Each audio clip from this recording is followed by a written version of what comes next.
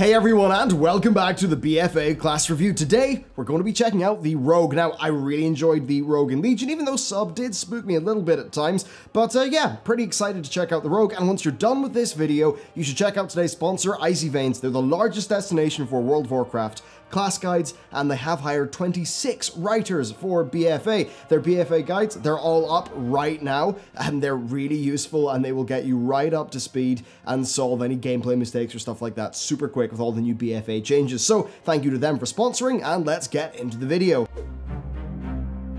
Okay, Outlaw, that's what we're starting with, the king of the RNG. Sometimes it was crazy fun, other times it was pull your hair out frustrating. Very much a spec that many loved and hated, so it's interesting, or it's going to be interesting to see how it's changed with the expansion. And we'll kick it off with the baseline changes. So first, Grapple Hook is now available baseline on a 60 second cooldown, with there being a talent that reduces that down to 30. So that's pretty great, and I think that's something that the Rogues have really wanted throughout all of Legion, but let's get on to the core rotation stuff. So it's not mega different, but there have been changes.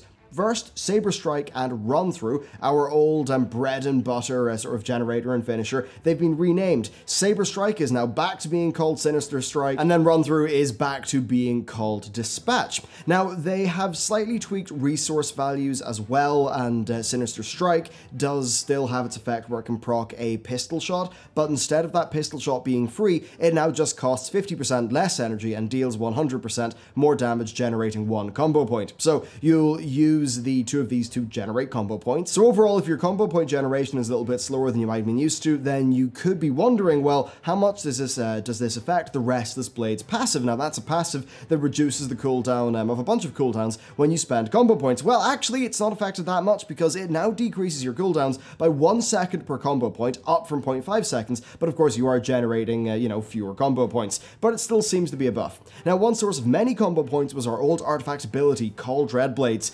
which is entirely gone, no longer being a part of this spec at all. The upshot here is that Adrenaline Rush is pretty much your only big DPS cooldown. And then as for Roll the Bones, well, it's pretty much the same bar a few tweaks, so Ruthless Precision now gives 60% crit to In Between the Eyes, which means that your ranged finisher um, actually has priority when it's off cooldown, and that helps to vary up the spec a little bit during certain Roll the Bulls, uh, Bones situations. Now, I'd say the most significant change with this spec is what's happened to Blade Flurry. So previously, you just turned it on, you'd automatically cleave targets at the expense of generating slightly less energy. It wasn't very interactive, but now it's quite different. It has two charges and a 24 second recharge, but it's a good bit more potent, so it'll be stronger for priority AoE and overall more of an interactive mechanic that's going to uh, require planning and skill to execute. So from a design perspective, I think that this um, this really is a good change. Uh, you won't notice it that much in raids because you're typically not going to have long sustained AoE in that case, but you'll probably notice it in Mythic Plus. Past that though, things are much the same, so existing Outlaw Rogues are going to acclimatize pretty quickly. Okay, so that's it for the baseline changes, and let's actually just talk about what the gameplay results of all of that is.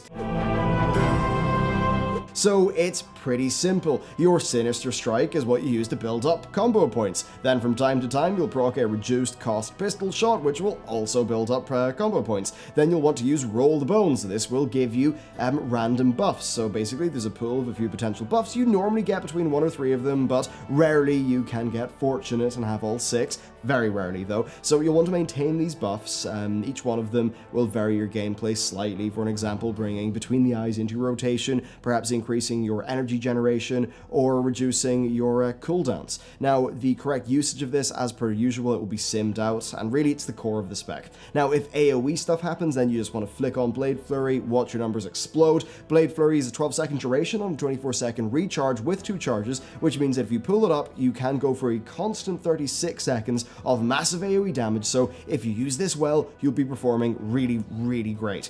Now, your main cooldown is a Adrenaline Rush, it massively increases your energy regen, and it's best used in tandem with really good Roll the Bones buffs, which is something I'll kind of talk about later. And really, that pretty much is it. Of course, you're rogue, right? You've got stealth, you've got a bunch of robust utility, you've got your grapple hook, which is now baseline. That's all pretty awesome. So let's just move on to the talents.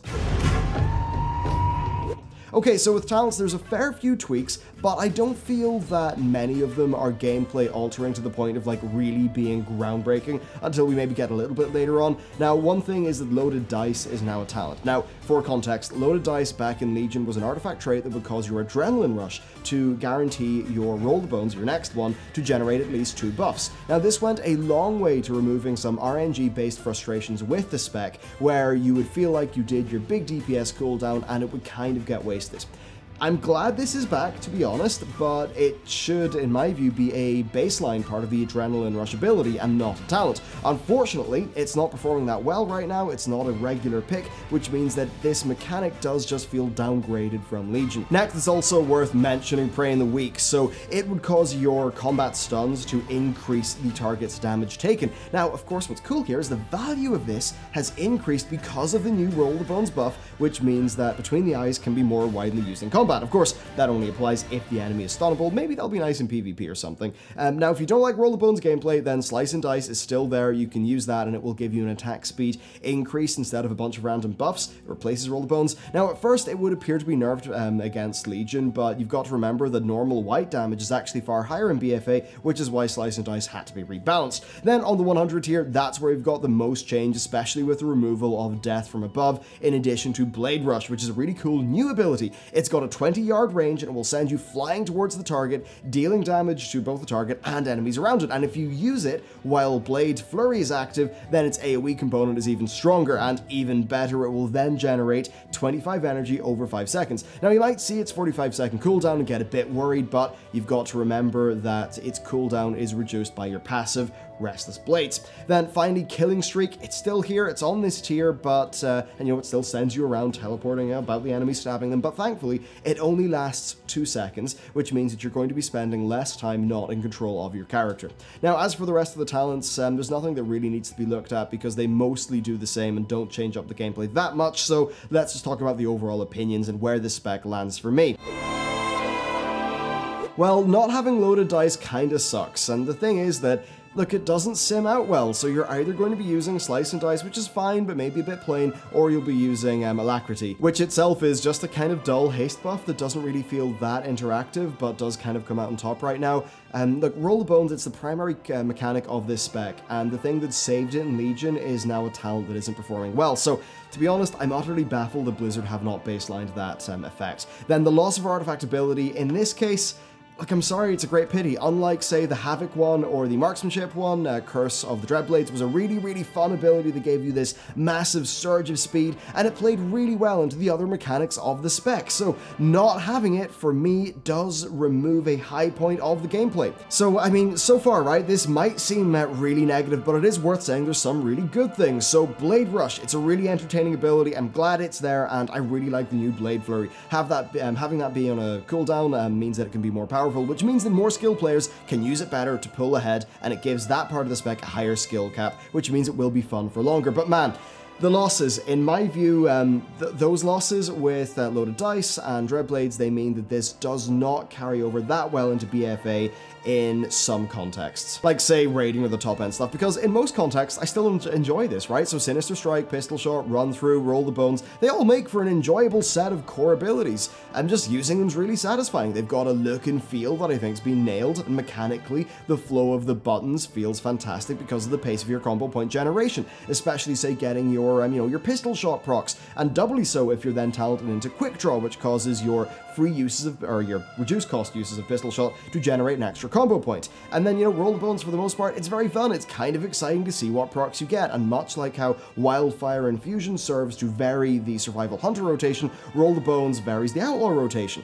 I love that, but loaded dice acted as a crutch and it removed one of the potential, I'd say great pain points of this spec that was out of the player's control. So what this means for me is that yes, it's entertaining in most contexts, but it's not something that I would personally feel go or comfortable going hardcore on. Um, even though I guess just casually doing dungeons, yeah, I enjoy doing that on this spec. So in general, it's pretty cool. You know, you're going from mob to mob, you're blade rushing, you're grappling hooking, uh, you're getting some sweet buffs, you're blasting through enemies. All that's really fun, I just have some lingering issues with how the spec has moved into BFA, but they very much are things that could be fixed. Okay, next it's time for Sub Rogue, and I guess, you know, moving on from Outlaw to Sub, we'll just think of some happy thoughts, because I know Outlaw didn't really go as well as I would have uh, liked. Now, Sub for me, um, I thought it was pretty tricky. I loved it, found it very enjoyable on a target dummy, but I found that some of its high points were a little bit hard to pull off um, when you're actually in a fight. So that's kind of interesting. Now, of course, back in Legion, I was doing it without macro, so I was probably making life harder for myself, but still, it was this very interesting spec to me, so I was definitely keen to see what's changed. So, what has changed with the core of Subtlety? Really, not a great deal. It has a bit of a slower feeling now, which to me is not a major downside. I still have found it to be quite engaging. Uh, most of the core buttons do the same thing, but Shadow Dance lasts for a second longer. So, so far, so similar, but it's maybe a little bit slower because of the loss of some artifact traits. Now, I've been okay with that. The new pace for me is still pretty involved. And um, one area of difference is Shadow Blades, which is your main cooldown. So, it now causes combo point generators to deal 50% um, extra damage as Shadow, which is quite different to how it used to work, which is where it would affect um, auto attacks. Now, the largest realistic change is Death from Above has been removed. Now, this ability had significant combo point and energy requirements, and that ended up making it be quite hard to use. It added a pretty high skill cap, but it did, of course, reward really skilled players who were able to use it right, but that just wasn't the case for many people. So, while it was a really good talent, um, it was a pretty difficult playstyle to be default for many. So, with Death from Above um, being removed, has been replaced with a new finisher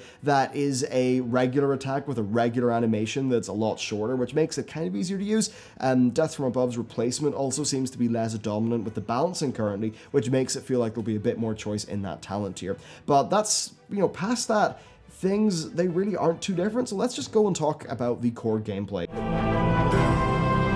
Alright, so you're generating combo points with Backstab, which you can use in front of the enemy, uh, but you don't really want to, but don't think too hard about that. Um, now, once you've generated combo points, you want to, of course, use them, and you've got two finishers. The main one that you want to always have is Nightblade. It's damage over time that you want to maintain the target, doubly so, because it increases the damage that that target takes from you.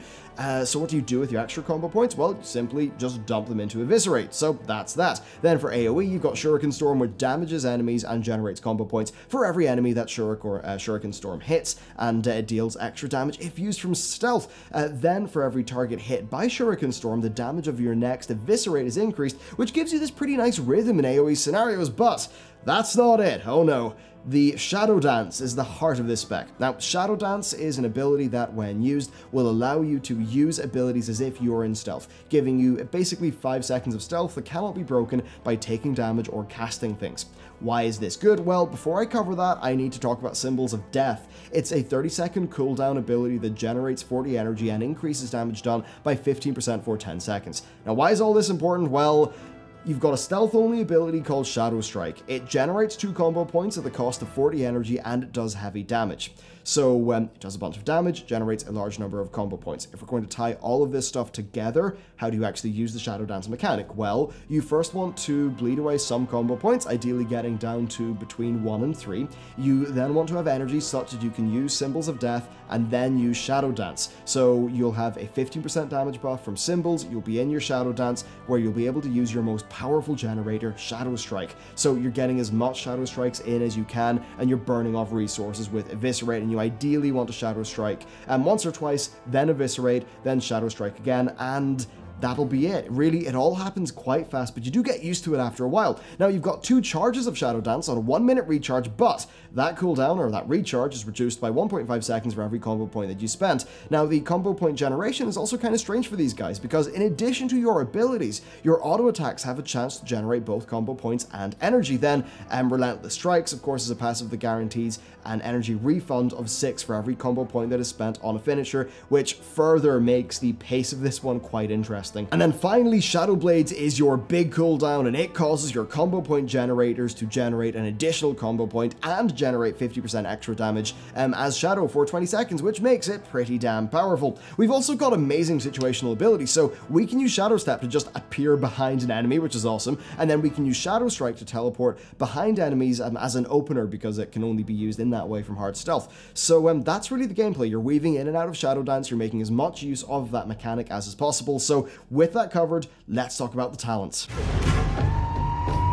Okay, so with Sub, we do see a few tweaks to the talents. Um, the first row has a buffed Weapon Master, which is simply a 15% chance for your generators to hit the target twice. And then we've got a new talent, which is called Find Weakness. Now, this one causes Shadow Strike and Cheap Shot to apply a debuff and that causes your attacks to bypass 40% of the enemy's armor for 10 seconds. Then Gloomblade still exists, but right now it's not very strong. Uh, find Weakness, basically it adds another mechanic for you to play around, and technically it does come out ahead, but it's quite hard to use. Um, like it's basically it's hard to execute in comparison to the very simple Weapon Master, so most people probably go for Weapon Master. Then our next major change is on the 45 row, which now has marked for death. Of course, that instantly generates 5 combo points, and it will have its cooldown reset if the target dies. And really, I think it's great. I think this is a really fun talent to use with the pace of the spec. Plus, it can be used to sort of snipe uh, dying targets for more combo point generation. And now the talents are very similar past that with um, some new utility in the form of uh, Shot in the Dark and Night Terrors. We then do see some tweaks to the numbers of Alacrity, making it ramp up faster, but be a smaller overall haste buff. Um, and then Dark Shadow, which um, is 5% less effective, but still does serve to or exist to um, you know highlight the importance of Shadow Dance by giving it a damage buff. And then the 100 tier, of course, Death from Above is gone. It's been removed from Legion. It's now PvP talent. Um, and then of course, Mark for Death was removed, brought back to the 45 tier, which gives us room for two new talents. So the first one is Shuriken Tornado. It's a talent on a 60 second cooldown that automatically throws out four Shuriken Storms over the next four seconds. Now it's very situational. It probably won't be widely uh, used. And then our second new talent is Secret secret techniques. So this is a finisher that creates a shadow clone of yourself, and both you and the clones will attack enemies near the target, dealing um, da normal damage to the primary enemy and then reduce damage to the enemies around your primary enemy. Now, it's currently quite competitive with the other um, talent um, on this tier, uh, Master of Shadows, which grants you energy over time um, when you stealth. Now, so far, this ability doesn't seem too dissimilar from Death from Above in terms of its role of the rotation, but it does not have as long of, um, of an animation, it doesn't move your character about the place. Secret Technique also does have a built-in cooldown reduction mechanic, which is based on your combo points spent, so while, yup, it's got a 45 second cooldown, your usage of it will not be dissimilar to Death from Above. Alright, so let's cover some of the other talents that they've not changed, but I think they're worth knowing about for the context of this video. So, I really like using Shadow Focus, which reduces enemy costs while stealthed, and uh, when that's combined with Master of Shadows, it gives you quite a lot of leeway with the spec, and it smooths out the gameplay, which to me just makes it a bit more comfortable, but I'll admit that's because I'm not super comfortable using a, a secret technique perfectly right now. So there you go, that's talents, time to cover my overall thoughts. So I think this has worked out pretty well for the um, Sub Rogue, in my view. Uh, their core gameplay with Shadow Dance, that is still intact. Uh, thank God Blizzard didn't put symbols of death in the GCD or something.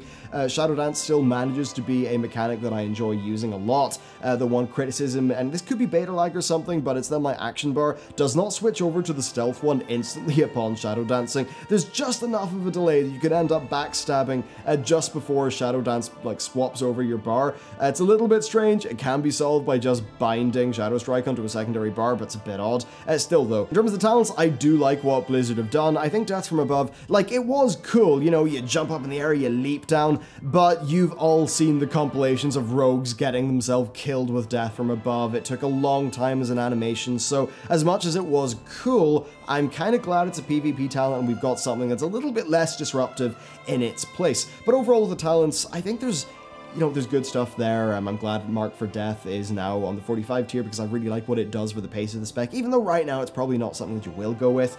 Um, but yeah, that really is it for the talents. Overall, I would say I enjoy this quite a lot. It feels a little bit slower to how it will have done on live. Part of that's because of, you know, losing your artifact. Um, a part of that is because of um, just some, you know, little changes here and there and the fact we've got less gear. Um, but you know what? It's a really engaging spec. I think it's really fun to do well in. And the gameplay pace that happens because of Shadow Dance is something that I really, really enjoy using. It's a pretty unique mechanic. It sets this spec apart from the other ones. So yeah, overall, I'd say uh, sub actually does get a thumbs up from me. So with sub done, let's talk about Assassination, and it was relatively simple, it was slower than the other specs, and it was quite predictable, which means that while it may not have been the most thrilling thing, I found it quite comfortable and enjoyable to use on fights. Plus, some of the more advanced gameplay involving spreading out your um, envenom usage and, uh, you know, using all of your stuff right, essentially, it did add enough depth to the spec for it to be engaging to me. So, um, yeah, let's just go and take a look with how things have progressed to the baseline of the spec in Battle for Azeroth.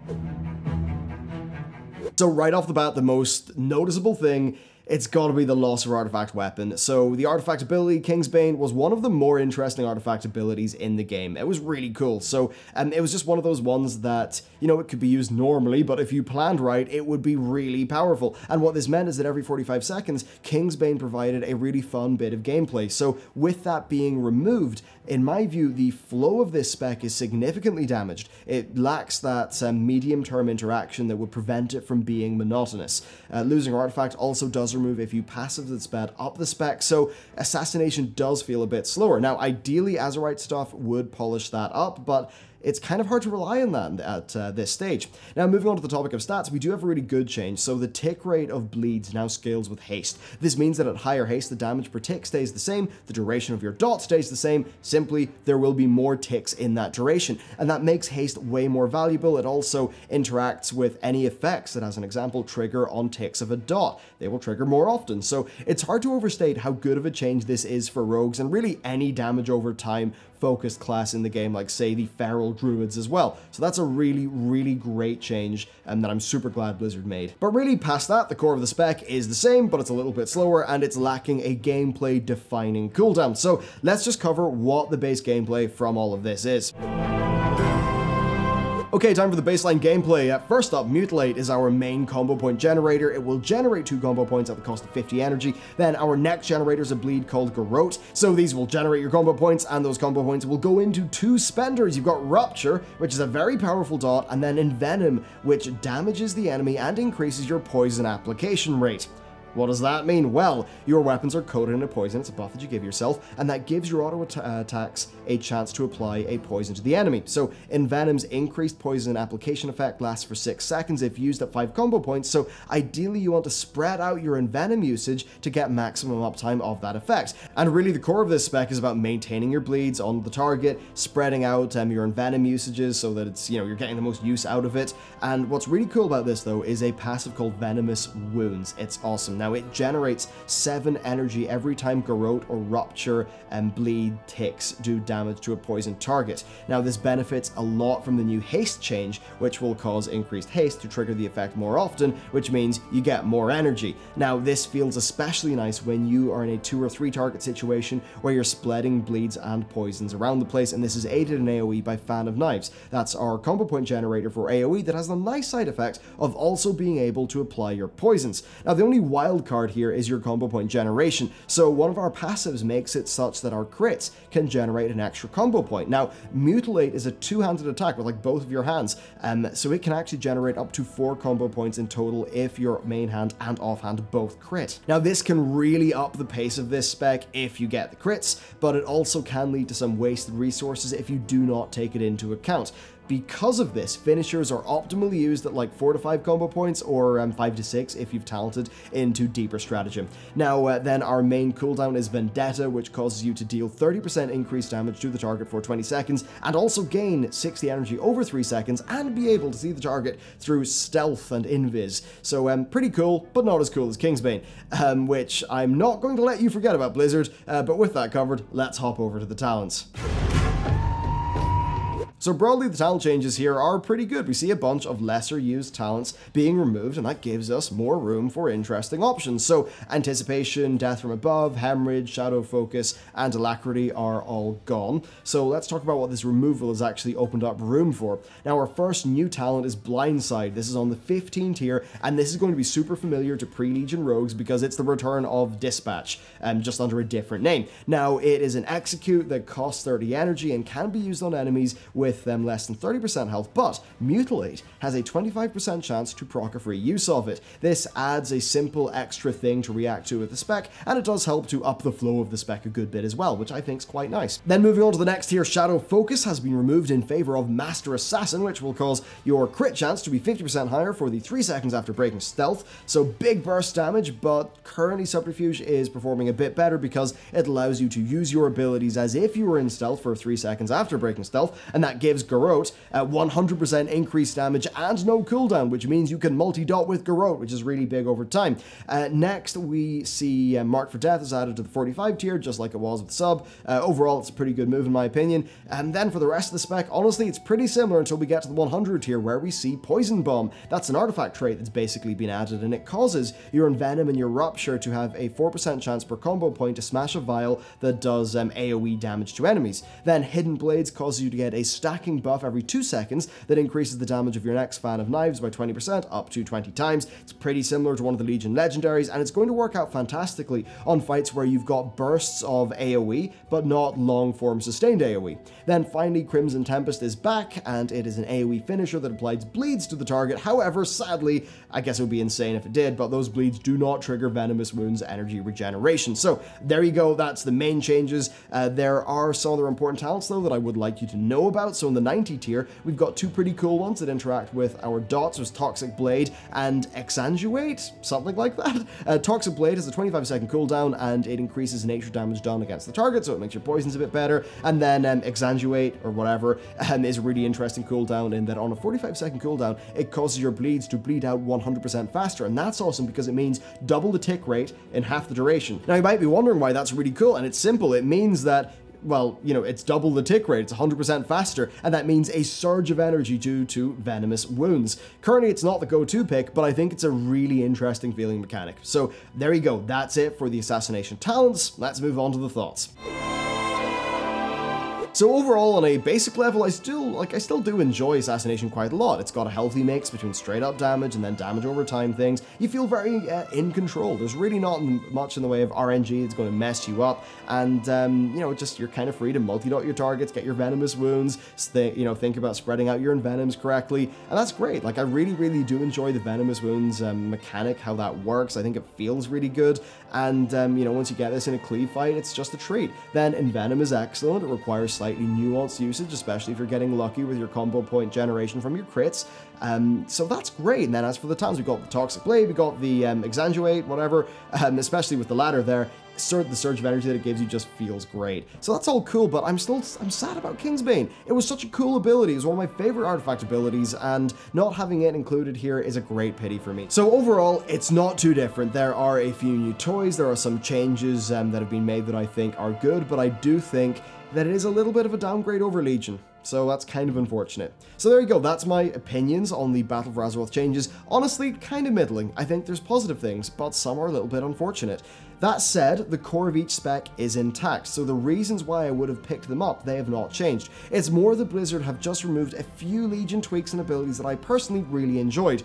Does this mean the rogues are not fun? No, no, they still are fun. We've just lost some things um, that in my view we didn't really need to lose. I think Kingsbane, uh, I think that could have been a talent. I think Loaded Dice could have been baseline. There's just a few little things like that that uh, I really wish um, they handled differently moving forward. Of course, there's the opportunity for Azerite to fix that up, but right now, um, there's one or two promising sort of Azerite things, but we don't really know enough about that system because right now, we only have Uldir, we don't have the raid after, and it's kind of hard to see where Blizzard are going to go with that system over time. So there you go, that is my thoughts with the Rogue. A massive thank you to today's sponsor, Icy Veins. All of their class guides, they are good to go for Battle for Azeroth. You can check them out in the description below. They are awesome. The site is nice and fast, quick to navigate. The info is great, and they hired 26 writers, so uh, they really did put a lot of work into it. So you can check that out down there. Thank you very much for watching this video, and with that said, I will see you next time.